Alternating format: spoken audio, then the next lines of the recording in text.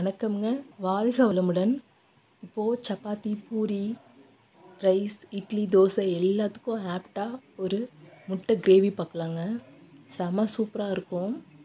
இப்போ தான் நம்ம சேனலில் நீங்கள் ஃபஸ்ட் டைம் பார்க்குறீங்க அப்படின்னா மறக்காமல் சப்ஸ்கிரைப் பண்ணி வச்சுக்கோங்க. இப்போது கடாயில் கொஞ்சமாக எண்ணெய் ஊற்றி சோம்பு சீரகம் பட்டை ரெண்டு கிராம்பு ஏலக்காய் ஸ்டார் பூவில் ஒரு சின்ன காம்புங்க. இதை மட்டும் லைட்டாக மீடியம் ஃப்ளேம் வச்சு வறுத்து எடுத்துக்கோங்க. ரெண்டு பெரிய ஸ்பூன் அளவு தேங்காய் நான் திருகி வச்சுருக்கேன். அதையும் சேர்த்துக்கோங்க. இப்போ நான் நாலு பேர் தாராளமாக சாப்பிட்ற மாதிரி சமைச்சிக்கலாங்க. இப்போது லைட்டாக பொன்னிறம் ஸ்டார்ட் ஆகும் இல்லைங்களா? Golden colour. அந்த ஸ்டேஜ் வரும்போது நம்ம தனியாக எடுத்து வச்சுக்கலாங்க. பாருங்கள் இந்த அளவுக்கு வந்தால் போதும். தீயை விட்டுறாதீங்க. இப்போ நம்ம இதை மிக்சியில் போட்டு அரைச்சி எடுத்துக்கலாம். கொஞ்சமாக கடலை எண்ணெய் சேர்த்து ரெண்டு பெரிய வெங்காயம் சேர்த்திக்கிட்டேன். இதை அரைக்கிறதுன்றதுனால கொஞ்சம் பெரிய சைஸ் துண்டாக கூட போட்டுக்கலாம் நீங்கள் இது பாதி வணங்கினதும் அந்த கண்ணாடி பதம் ஸ்டார்ட் ஆகும்போது மூணு தக்காளி பழம் ரெண்டு பச்சை மிளகாங்க. கொஞ்சம் பழமாக எடுத்துக்கோங்க. நான் மூணு தக்காளி பழம் எடுத்திருக்கேன். இது வணங்கின வாட்டி முந்திரி ஒரு ஆறு டு ஏழு முந்திரி சேர்த்திக்கோங்க. கூடவே காஷ்மீரி சில்லி ரெண்டுங்க. இதுவும் நல்லா வணங்கட்டுங்க. இது நல்லா வணங்கி வந்தவாட்டி நம்ம ஆற வச்சு மிக்சியில் அரைச்சிக்கலாம். பாருங்கள் இந்த அளவுக்கு வணங்கினா போதும். இப்போ இதை தனியாக ஆற வச்சுட்டு வந்துடலாம். இப்போது நான் தோசைக்கல்லில் ஒரு ஸ்பூன் அளவு பட்டர் சேர்த்திக்கிறேங்க. இது பாருங்கள் லைட்டாக உருகி வரட்டும். வந்த வாட்டி நம்ம தக்காளி பழம் நான் க்யூப்ஸாக கட்டி வச்சுருக்கேன். உள்ளே இருக்கிற அந்த ரசம்லாம் எடுத்துட்டு மேலே தோல் மட்டும் நான் கட் பண்ணி வச்சுருக்கேன். எனக்கு இங்கே நாட்டு தக்காளி தான் கிடச்சிதுங்க. பெங்களூர் தக்காளி இருந்தாலும் ஓகே தான். அந்த ரசம் மட்டும் இல்லாமல் பார்த்துக்கோங்க அது கூடவே பெரிய வெங்காயம் க்யூப்ஸாக நான் கட் பண்ணி வச்சுருக்கேன். ஒரு பதினஞ்சு டு இருபது பீஸ் கட் பண்ணி வச்சுருக்கேன். அதுவும் மீடியம் ஃப்ளேமில் வச்சு நல்லா வணக்கிக்கோங்க. பாருங்கள் இந்த அளவுக்கு வணங்கினா போதும்.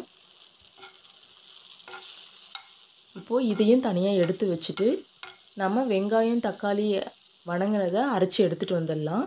கூடவே தேங்காய் இதெல்லாம் அரைச்சி எடுத்துகிட்டு வந்து ரெடி ஆயிடுச்சுங்க. இப்போ நம்ம தாளிச்சிக்கலாம். கடாயில் எண்ணெய் சேர்த்திக்கோங்க. எண்ணெய் கொஞ்சம் தாராளமாக விட்டுக்கோங்க. கூட மூணு பிரிஞ்சி இலை அரைச்சி வச்ச விழுதியும் சேர்த்திக்கோங்க. இது ஒரு நிமிஷம் நல்லா வணக்கின வாட்டி நம்ம மசால் சேர்த்திக்கலாம். பாருங்கள் இப்போது நான் தனி மிளகாய் மல்லித்தூள் கரம் மசால் ஒரு மஞ்சள் சிட்டிக்கங்க இதையும் சேர்த்து வணக்கிக்கோங்க. பாருங்கள் இந்த அளவுக்கு வணங்கின வாட்டி ஒரு முப்பது செகண்ட் வணங்குக்கு போதும். கூட அதுக்கப்புறம் ஒரு ஸ்பூன் இஞ்சி பூண்டு பேஸ்ட் இதையும் சேர்த்து நல்லா வணக்கிக்கோங்க. வணக்கின வாட்டி நம்ம அரைச்சி வச்சு தேங்காய் விழுதையும் சேர்த்திக்கலாங்க. இதையும் சேர்த்திட்டு உங்களுக்கு எவ்வளோ தேவையோ இப்போ ரொம்ப தண்ணியாக இது இருக்கக்கூடாதுங்க. நம்ம வந்து முட்டை கிரேவி தான் செய்கிறோம் லைட்டாக செமி கிரேவியாக இருந்தால் போதும். ஓவர் கிரேவியாகவும் வேணாம். பாருங்கள் இந்த அளவுக்கு நீங்கள் தண்ணி பதம் வச்சிட்டிங்கன்னா கரெக்டாக அது சுண்டி வரும்போது முட்டை போட்டு இறக்குனீங்கன்னா கரெக்டாக இருக்கும். தேவையான அளவு உப்பு சேர்த்திக்கோங்க. இப்போ மூடி வச்சுட்டு நாம் கரெக்டாக ஒரு ஏழு டு எட்டு நிமிஷம் நல்லா கொதித்து மேலே எண்ணெய் வந்துடுச்சு பாருங்கள் இந்த டைமில் முட்டை சேர்த்திக்கலாம். நான் இப்போ அஞ்சு முட்டை சேர்த்திக்கிறேங்க. உடையாமல் போட்டுக்கோங்க. நான் முட்டை சேர்த்துன வாட்டி ஒரு பத்து டு பன்னெண்டு நிமிஷம் மீடியம் ஃப்ளேமில் வச்சு நான் மூடி வச்சுட்டேன். இது தீயாமல் இருக்கணும்னா நீங்கள் ஃபுல் ஃப்ளேம் வைக்கக்கூடாதுங்க. பாருங்கள் பத்து டு பன்னெண்டு நிமிஷம் கழித்து முட்டை நல்லா வெந்துடுச்சு அந்த பச்சை வாசனையும் போயிடுச்சு. மேலே எண்ணெய் மிதக்க ஆரம்பிச்சிச்சு இந்த டைமில் அரை எலுமிச்சம்பழம் புளிஞ்சிக்கோங்க கூடவே கஸ்தூரி மேத்தி இருக்கு இல்லைங்களா? அதையும் ஒரு சின்ன அளவு ஒரு ஸ்பூன் அளவு இருந்தால் போதுங்க. அதையும் நல்லா கசக்கி விட்டுக்கோங்க.